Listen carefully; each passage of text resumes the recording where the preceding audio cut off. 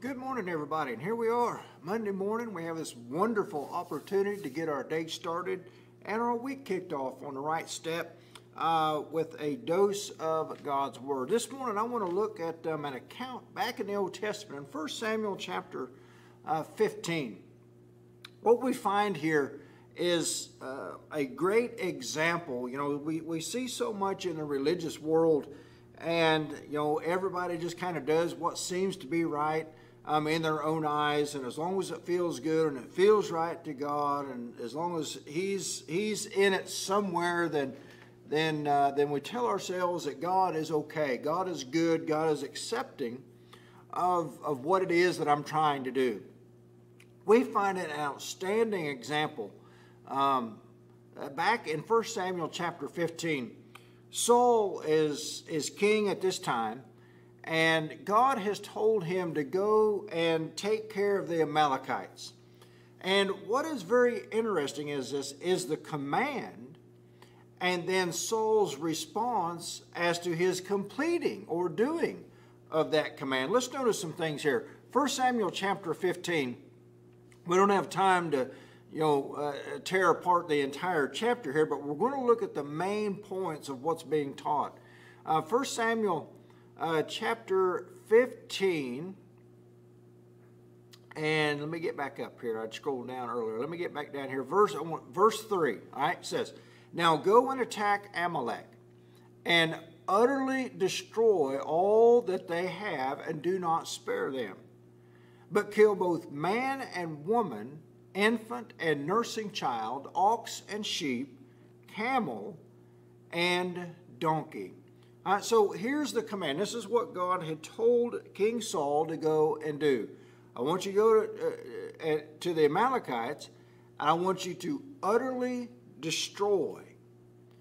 That means a completeness. Uh, when we think about the word utterly, it is a completeness, all right?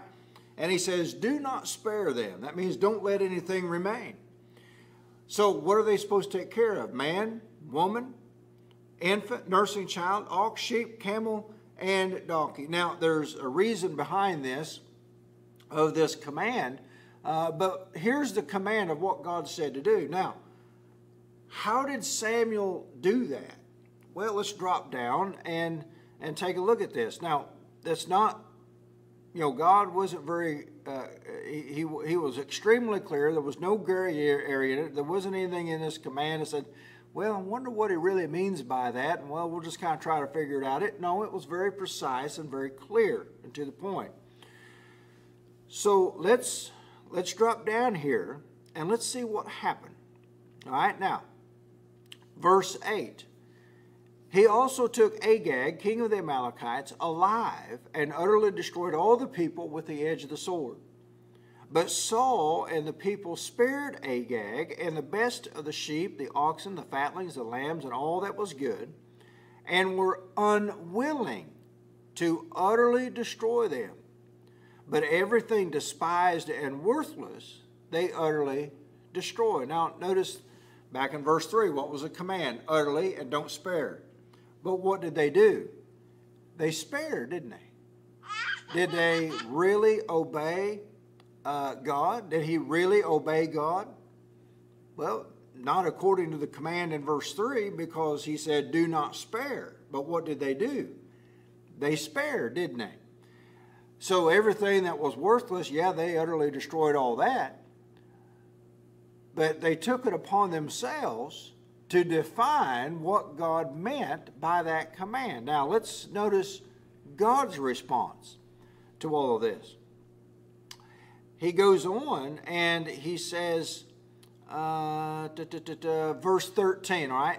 Then Samuel went to Saul, and Saul said to him, Blessed are you of the Lord, I have performed the commandment of the Lord. Now, Saul, in his mind, he, he thinks that he has obeyed God. He, he thinks he's done exact, he felt within all of his heart that he has done exactly what God said. But had he? God gave that very clear command in verse 3.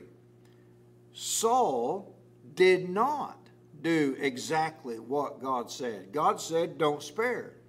Saul spared. And now Samuel comes to him and he says, I have done what God said. Notice this, verse 14. But Samuel said, What then is this bleating of the sheep in my ears and the lowing of oxen which I hear? Saul said, They have been uh, they have brought them from the Amalekites, for the people spared the best of the sheep, the oxen to sacrifice to the Lord your God, and the rest we have utterly destroyed. Then Samuel said to Saul, Be quiet, and I'll tell you what the Lord said to me last night. And he said to him, Speak on. So Samuel said, When you were little in your own eyes, you, were you not the head of the tribes of Israel? And did not the Lord anoint you king over Israel?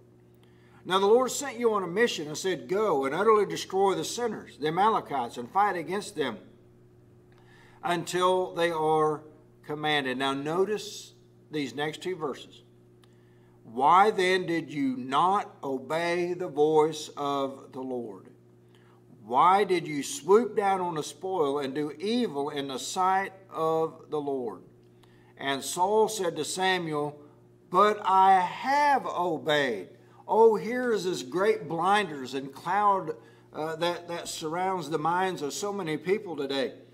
Saul, uh, in, in all of his heart, he said, I have obeyed. I have done what God said to do. No, he did some of what God said to do doing some of what God said to do is not the same as doing what God said. What we have is a great example is that Saul thought in all of his heart, I've done what God said to do. And you know, a lot of times we can come across that same mindset. I've done what God said to do. We may feel that we have done what God said to do, but in reality, we very well may not have done what God said to do. Notice again, verse 19.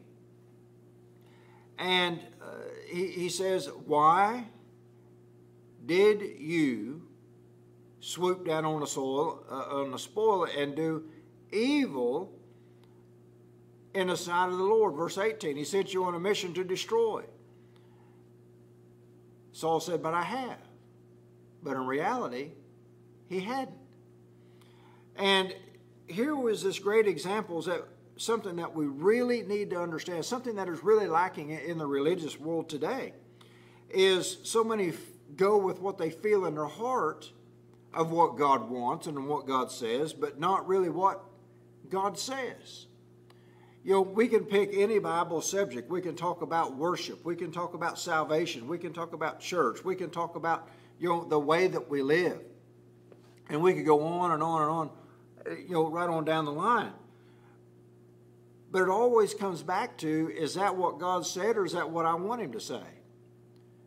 You know, for example, just you know, salvation for for you know, I want to be saved based on John three sixteen, and that's it. I want to be saved um, by faith through grace, as Paul wrote to those that were already saved in Ephesians 2 5 through 8, and completely dismiss what Jesus said in Mark 16 16. He that believes and is baptized shall be saved, or what the apostles taught on the day of Pentecost repent and be baptized for the remission of your sins. Acts 2 and in verse 38 said, Oh, but I have obeyed what God, or worship.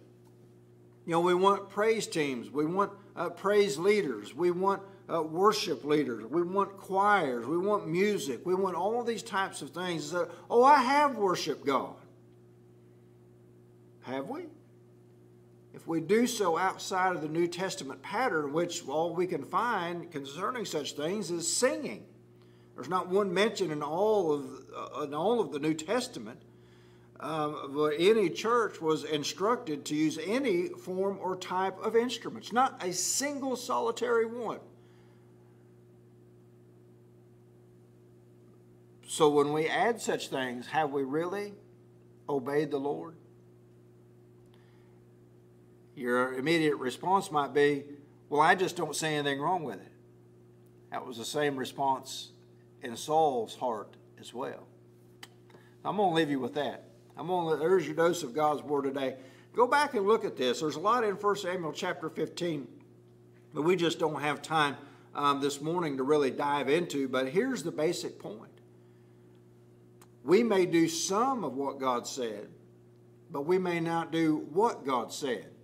And the result of that is disobeying God and working evil and wickedness in the sight of God. hey, go back and study this. Think about the things and the points that we've made and, and pray for wisdom to understand these things. And God has promised in James chapter 1 that if we lack wisdom, He'll give it to us. But we have to be open and humble uh, to see that wisdom and to grasp that understanding. So, hey, I hope you all have a great day. Lord willing, tomorrow we'll get back and get us another dose of God's Word. Until then, hope you have a great day. We'll see you tomorrow.